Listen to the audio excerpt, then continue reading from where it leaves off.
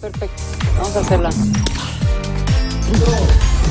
Me enfrenté a una persona que era un enfermo mental, muy inteligente, muy rápido de decisiones y todo. Un hombre con un pensamiento muy distante de mi pensamiento. Un ejemplo rápido. A mí en la vida se me ocurriría golpear a una mujer. Este hombre era un golpeador de mujeres. Sabemos que existe, pero también los catalogamos como gente enferma de la cabeza. Es una enfermedad mental. Y como ese, muchas otras cosas, porque el Señor se sentía parido por los dioses o veto a saber qué cosa. Y podía hacer cualquier cosa sobre la tierra. Lo hizo un personaje muy atractivo de ver que podía existir una personalidad como este político. Por ahí tuve que buscarle como enfermedad de orden psicológico.